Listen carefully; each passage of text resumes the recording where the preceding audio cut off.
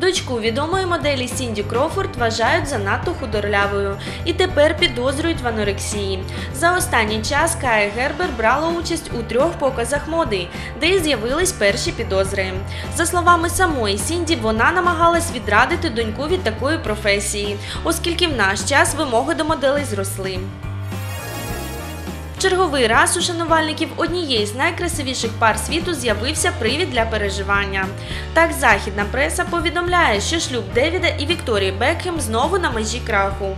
І все через нову зраду футболіста. Шлюб тріщить по швах. Девід Бекхем познайомив свою коханку з близькими друзями. Причому відбувається це виключно під час відсутності дружини.